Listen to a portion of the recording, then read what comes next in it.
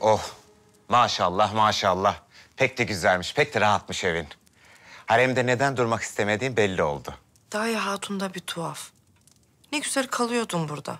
Yahu kadın da haklı. Tek başına olmaz ki. Benim de aklım kalıyor sende. Başına bir iş mi geldi? Bir hal mi oldu? Açta mı, açıkta mı? En iyisi harem. Harem dedim de aklıma geldi. Eşyalarını hazırladıysan gidelim.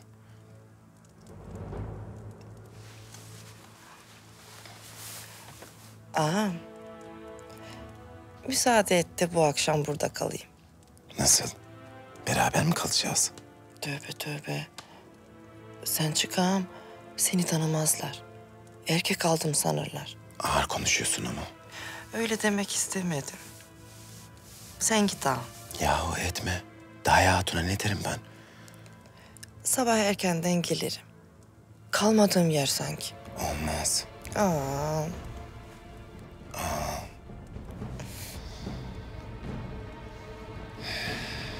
Evet bu tarafa doğru çekiyorsun. Bu çiçeği yaparken de böyle uzunca batırıyorsun iğneyi. Böyle çekiyorsun. Alttan çıkarıyorsun. Evet alttan. Senin yaptığın da böyleydi. Aynen böyle çiçeği yaparken. Efsun Hatun.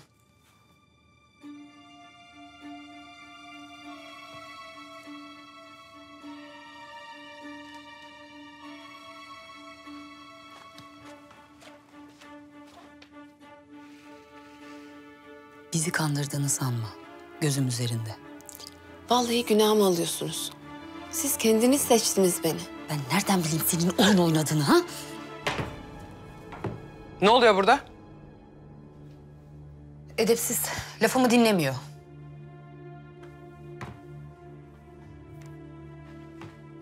Sen ne arıyorsun burada? Sen git valide sultanımızla alakadar ol. Hadi. Sen bana emir veremezsin. Ya sabır. Yahu gece gece belanı bulma.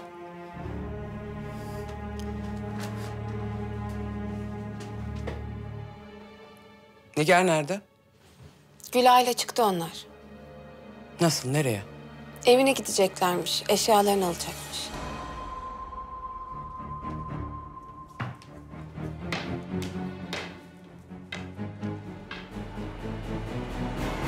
Bana doğruyu söyle. Nasıl öğrendin Efsun Hürrem'in cariyesi olduğunu?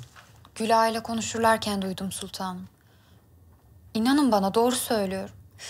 Sırf Hürrem'e hıncından bana yalan diyorsan... ...seni mahvederim.